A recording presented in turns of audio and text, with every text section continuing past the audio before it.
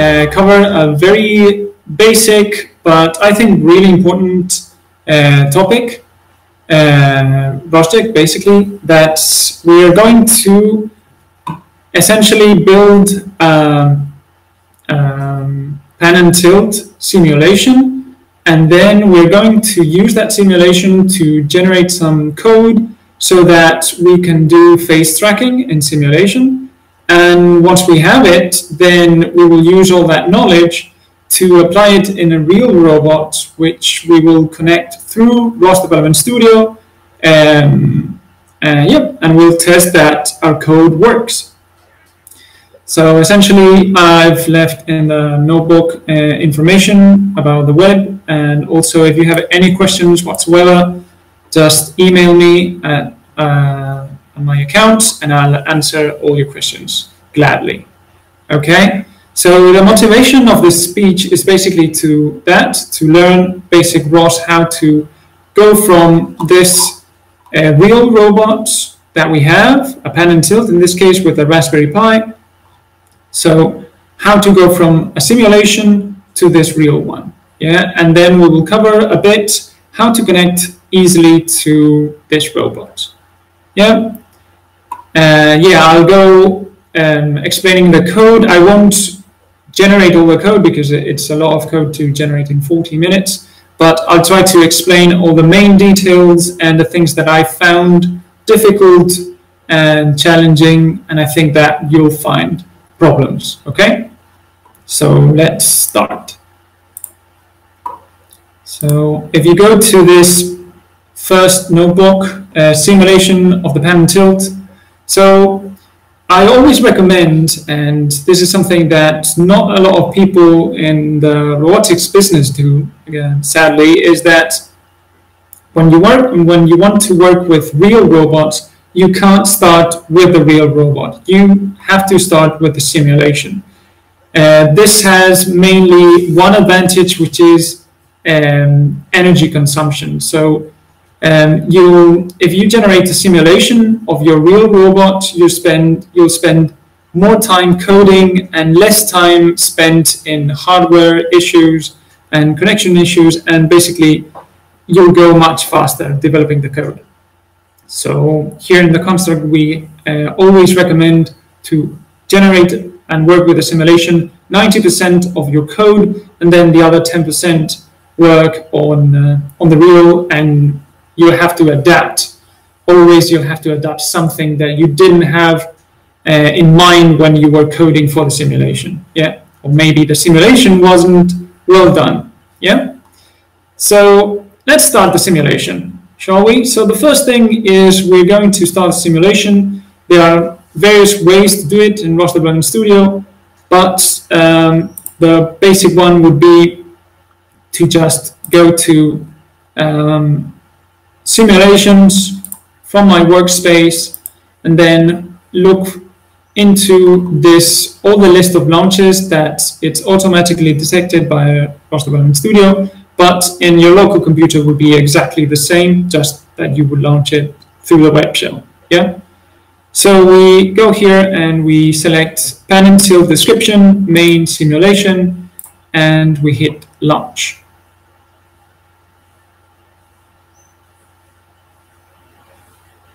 While we wait that this launches, um, you can open here in Tools the IDE, and then you can open here in another tab. I already done that, so let's have a look. So while it loads, we're going to go through the code. So essentially, in, uh, in this project, we have three main packages, pan and tilt common, which are all it's is all the code that you need for the simulation and that it will be shared with the simulation and with the real robot. Okay, and then we have these two dependencies that are person sim that we use this to um, simulate persons uh, and then we have spawn robot tools which is a, a, package that we generated here in the construct that basically uh, makes uh, spawning, uh, URDFs, SDFs, xacros, and other stuff much easier. Yeah. So here we have the simulation already. So let's have a look what we have here. So we have uh, our person that we're going to use for the face tracking, and then we have a dummy head that we will do the, the paper of the pan and tilt. Yeah. Okay. So let's go to the notebook. So when you have this already launched, then let's have a look at the simulation which you need to create. Yeah. So I'm explaining all this for the pan and tilt, but uh, more or less, I it's the same structure in any robot whatsoever. So if you go to pan and tilt control and you go to pan and tilt description, uh, first of all, the name of the package, which is uh, pan tilt description. We here in the construct, we made like a standard way of doing packages for ourselves, and we highly recommend that you do so also.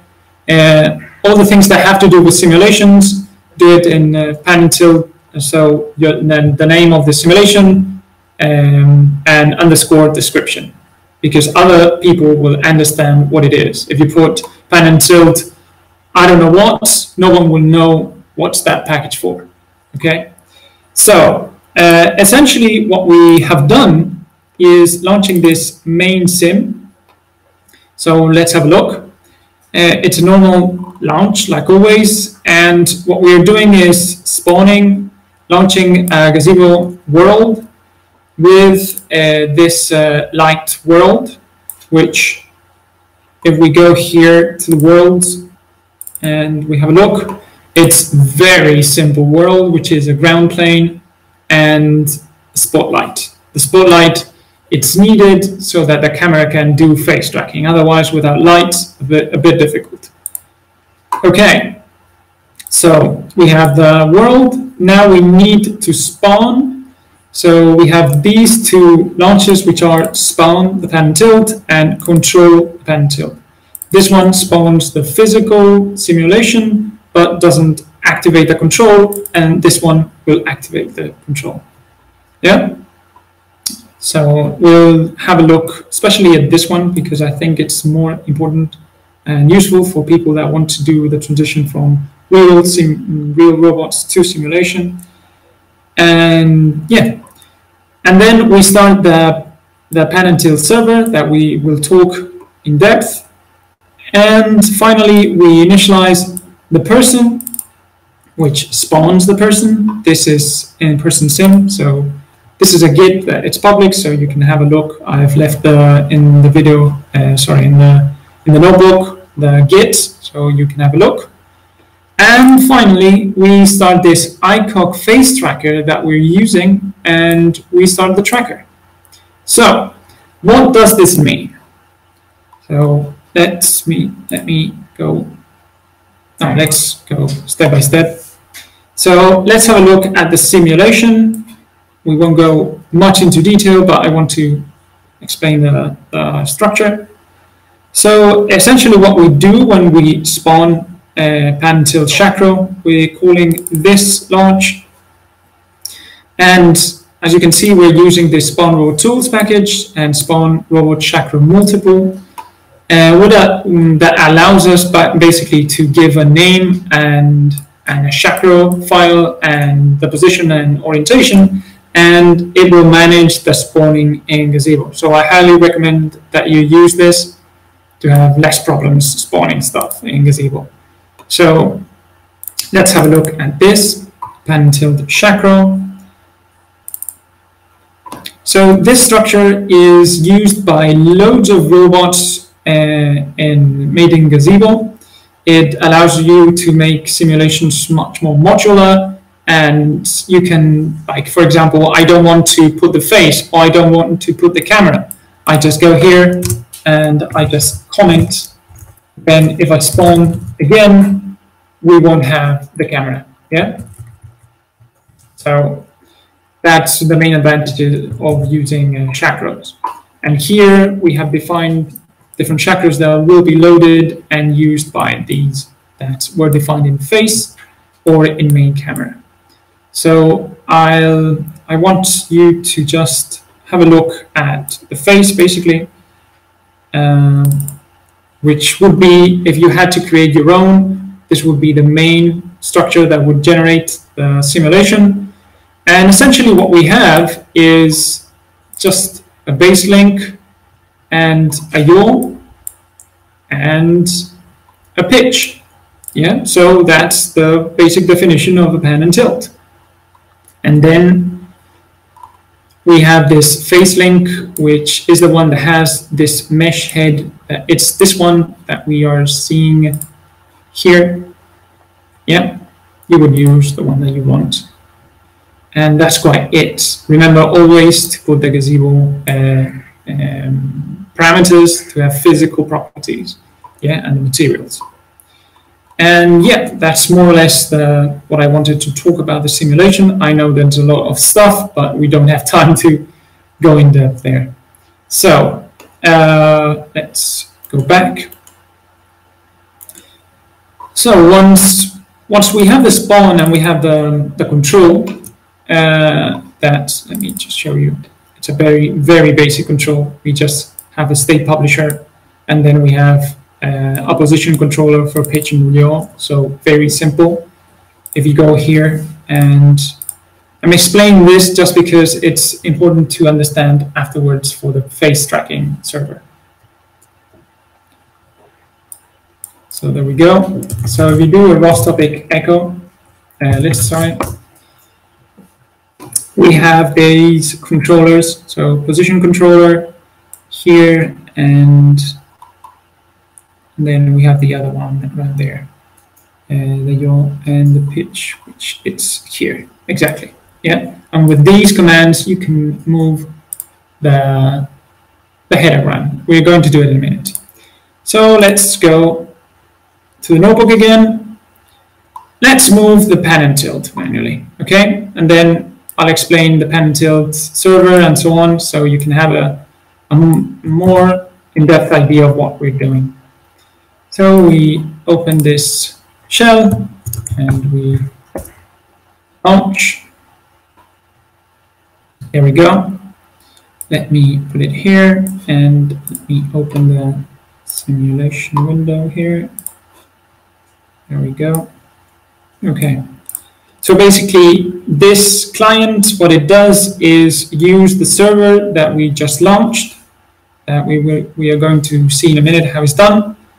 And if, for example, I say, I don't know, like, uh, um, these and zero tilt, and you see that the simulation just moved there, or I can put like uh, zero and 45 degrees. There you go. So basically, it's how I control the the servers, the simulated servers inside um, the simulation. It's very important to note that this will be exactly the same for the real robot. Yeah, so let's have a look how this works. So uh, just let's go to the main launch. And you see that we start this start pan and tilt server sim launch. So let's have a look. It's in pan and tilt control.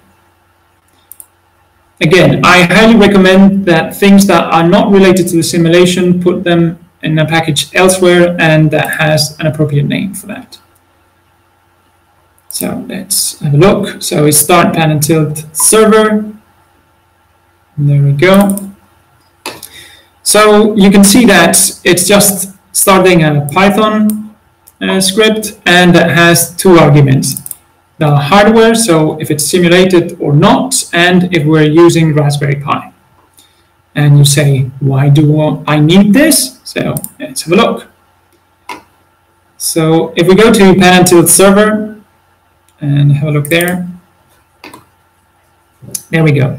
So this is the heart, beating heart of this, uh, because it allows us to essentially use afterwards the face tracking without caring if it's a simulation or the real robot. And this is the power of ROS, that it allows us through topics to decouple uh, simulation or real, real robot from anything else. That way you can generate code for both or for other systems yeah, that use the same protocol of the same topics or the same services. Yeah, so I won't go into detail again, but essentially what it is is a class that uh, subscribes to this pan and tilt uh, topic, which has this custom pan and tilt messages. So let's have a look. And there's no mystery here. So it's just two floats, pan and tilt. Nothing very special. And for the people that don't know a lot of ROS, you'll have to change this in the CMake lists. So to configure this so that you have this compiled here, okay, in the CMake list. Yep. Okay, so essentially we have this that reads from this topic, and then we initialize uh, um, a class depending on if it's simulated or not. Why? Because this server is the one that communicates the these values to the simulation or to the robot, real robot, to move the servos. Yeah. So if we go to um, these two that are defined, so you can see that it's this one is defined in the movesim, and this one is defined in the pan and tilt move package, which is defined in the real one. So in this case, we don't have it here. Yeah. Okay. So, and in the simulation, if we go here in the tilt movesim, what it does is publish in those commands that I talked, showed you just a minute ago. Yeah? Okay. So let's have a look. There you go. So we have, and yeah. So now let me show you through the GUI graphical interface what we have to connect to the last one. So there you have the um, the face tracking that it's already doing the face tracking there. You see the square there. And this is being published in a topic called, um, I think it was faces.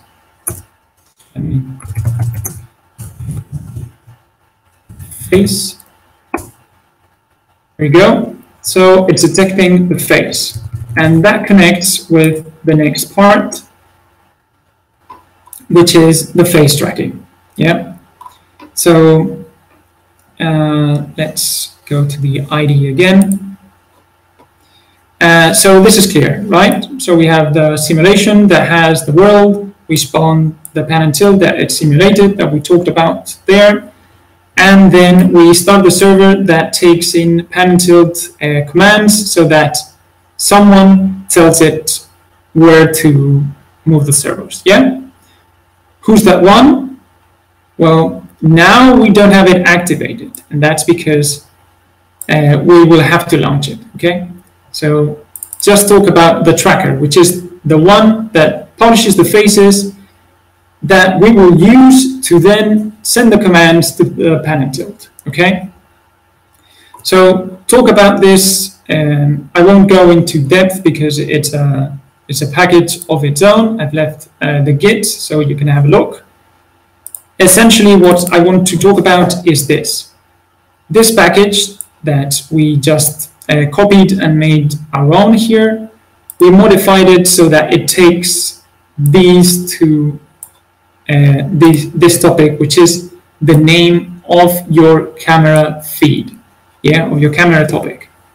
And from there, it just makes all the things that it has to do to give you the face um, topic that we just saw here for the detections. Yeah.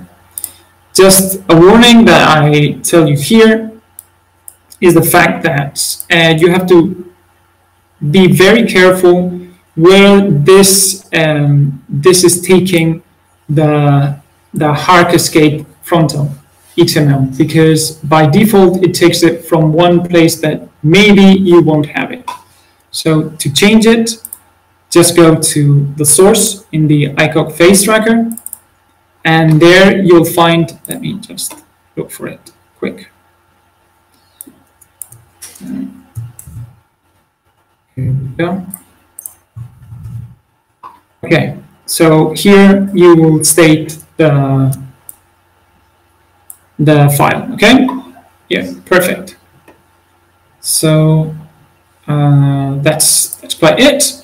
So let's have a look on how to use all this data. So we have the and Tilt publisher, we have a subscriber story, and we have the faces publisher. Yeah. So now we have to join these thing, two things together. So we go here and we launch this start face tracker.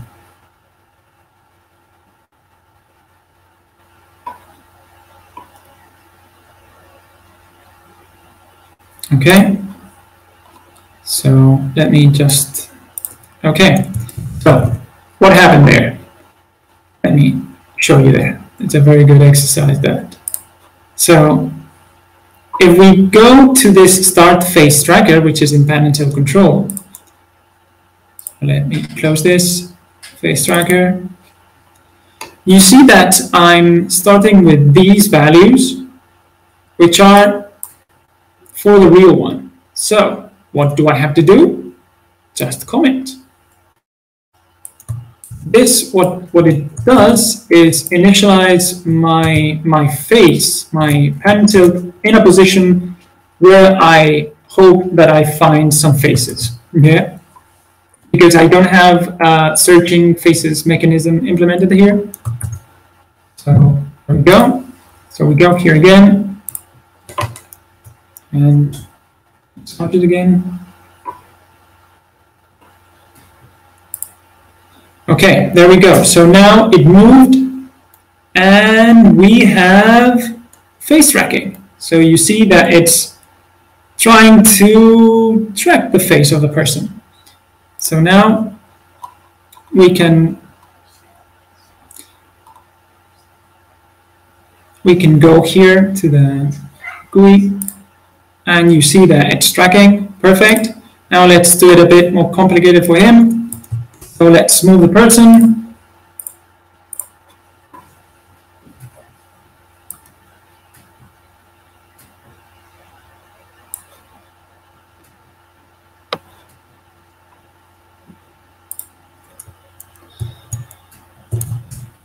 Okay.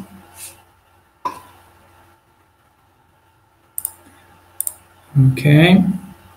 So let me put this on this here.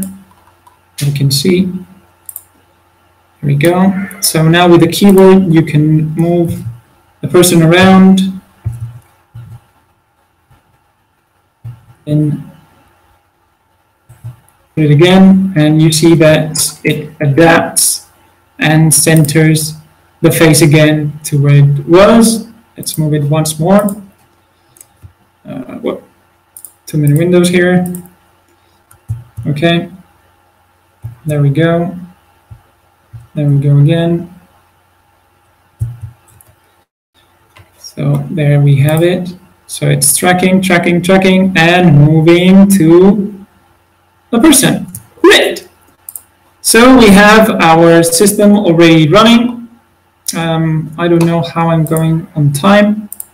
So, yeah, so let me just, and yeah, so I think I'm going to, to go to, yeah, let me show you this. So now we have the, the face tracking working in simulation, everything working, no problem. So now that we have it more or less working, now it's time to connect to the real robot. Yeah. So let's let's do that. So I can finish the simulation. Let's close everything. Okay, and now uh, let's jump to the other notebook. So you won't have the Pan and Tilt at home, I suppose, but you can do the same procedure as I'm doing here in your local computers and consider that local computer as the pan and tilt. You won't be able to move it, but you'll be able to do the connections and all that stuff, yeah?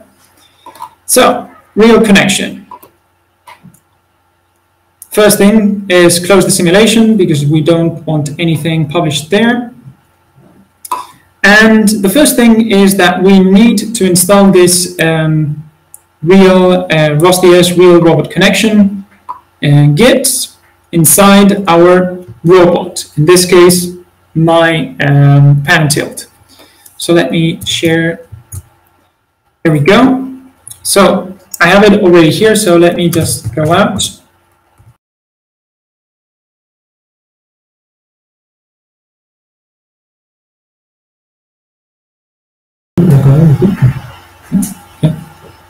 So, as, as I said, uh, you won't be able to move a and tilt, but you'll be able to uh, to connect to your system and install and all that stuff. Okay. So, go. So you would have to do an SSH to your system, and then uh, clone this repo. And if you go here, you have this real um, robot setup, which go to our, you just have to execute it like that. I won't do it because I've already installed it. Yeah, but basically that's it. So how can you get the IP of the robot? You can do it in many ways. You can use an application that scans all your system and gets the IP of your robot, or just connect and then do an ifconfig. Well, in this case, you should know it, and somehow, once you have it, then you can get inside a new ifconfig. Sorry. Okay, let's continue. So now, let's do the connection. So we have to connect ROSDS side. So you go to real robots and click here to activate it. Great. This is one side. The other side is you have to um, connect to the IP of your robot. In this case, that's mine. And uh, two dots and 3000, which is a server that it's installed through that command, and it will be, be demonized and it will be running all the time. Yeah, so if we refresh, then we have to click here to turn on. And it will give you give us two things. One, the device name, which is the one that we stated here. So I'm going to copy this one and I'm going to put it here. And then I'm going to also copy this. This is the URL that will be unique for my robot. Yeah. And connect.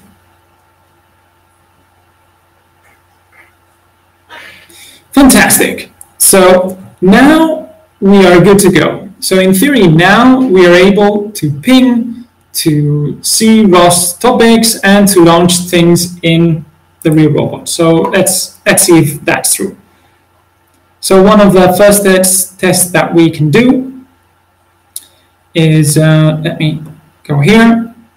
Inside the pan and tilt, in your case, you won't have the pan and tilt. You'll have whatever robot you have or whatever computer you have. So we'll ping this name. It's always the same because in ROSDS it has always the same name, the systems. Yeah. So. And there we have it. So there's a connection from the pan and tilt or from your computer to ROSDS.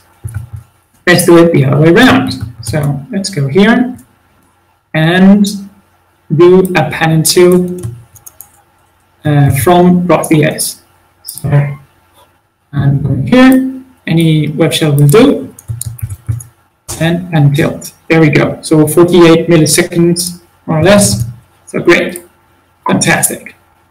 And let's test that ROS works. So the best way to do it is just to publish a simple topic. So let me put this one, for example, uh, from, again, your PC, and from my side, the pan tilt, double tab, and put going with 2, pan tilt, pan, and tilt. And let's put a rate of one second. Oh, sorry. Let me just, I don't know what happened there. Oh, yeah. Very good mistake from my side. Sorry for that. So what happened there? Oh my, oh my, oh my. So it's because we have to launch a roscore. Where? It depends. So in my case, I've set it in pan and tilt. You can put it in ROS Development Studio as you wish. So now let's do that again. Roscore. Okay. And now topic. Okay. And now uh, let's have a look what's here. ROS topic list. And we have it there, ROS topic echo and pen to test. There we go. Fantastic. And to test the other way around, it's the other way around. So let's do it fast. Copy, paste this, publishing, and now we do ROS topic. List here. Topic. Oh, how is Eight.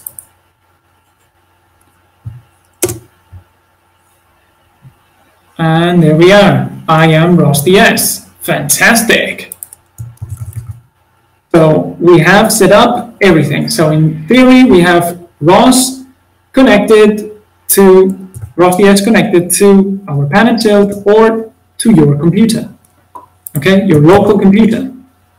I reiterate this because it's a concept that maybe it's a bit tricky at first. ROSDS is not your computer, it's server around there, and the other thing is your computer, okay? So now that we have that settled out, so let's let's have a look. What do we have to set up in my uh, pan tilt? Let's here, and we need a Catkin workspace, and, and inside it we have copied two things. One, the pan tilt control git, which we have talked about a lot, and the other one is the pan and tilt real robot, which is one that we didn't have. Why? Because we weren't in the real robot. And this one has only the things related to physical stuff, like the camera, how to set up, and different kind of systems and so on. I won't go into detail there, but um, I, we have video tutorials about this. So, uh, and I think I left some indications in the in the notebook. And so, uh, let's have a look now how to do everything. Yeah. So let's kill first the roscore because we don't need it now. Now we go to the pan and tilt to your computer, in my case, the pan and tilt.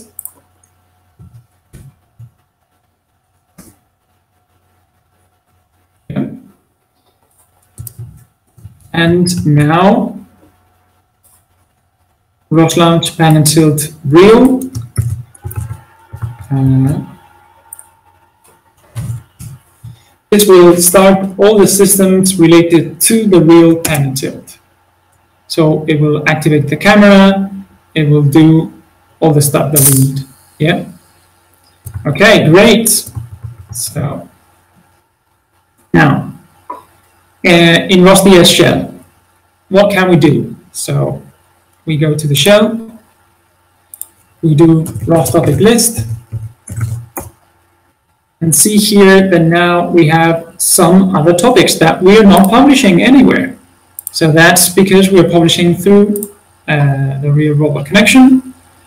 So now we are going to, for example, let's launch the client that we launched previously. There we go. Okay, okay. And now for, for this, I might need to um, change my camera. Okay. There we go. Let me unshare this the screen just a minute. And well, sorry. There we go. Okay. So here, let me share my screen. It's it's okay there in control? Yes. Everything okay. Okay. So now um, I'm going to go to ROSDS. There we go. And let me, for example, put uh, 90 degrees and uh, zero. There we go. And let me put it a bit better so you can see better. And let's do, for example, 90 degrees and 40 uh, degrees also. There we go. So I want to make this clear that it's we are communicating through ROSDS to the real robot through this real robot connection. Okay. And finally, uh, let's let's have a look at the cameras. So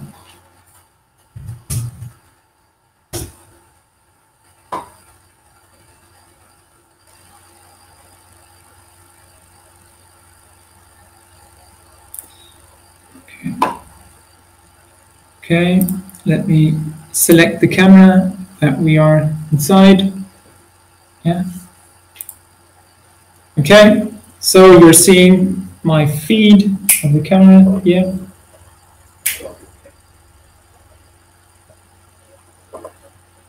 Okay, yeah, sorry. So uh, I have to share my screen for that. Okay, share. There we go. Sorry about that. Okay. So now you see the feed. There we are. And finally, we're going to start the face tracking. So we have this reel that we just started here. And now we're going to launch the face tracker in ROSDS, okay? So um, cancel this.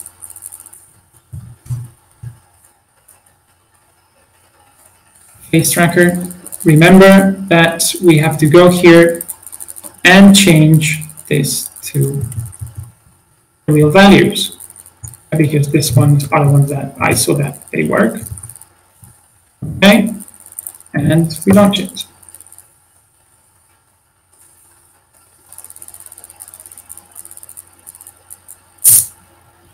Okay, so there we go.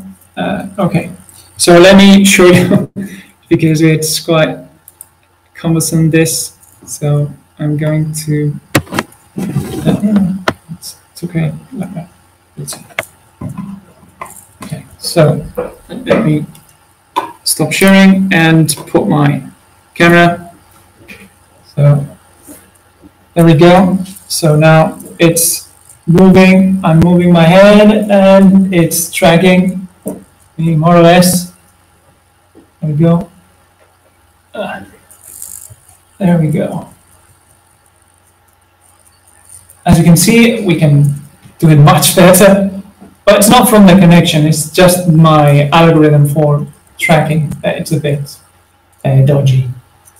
But there you have it. So it's tracking me but the, the face tracking is being executed in ROSDS remotely, yeah?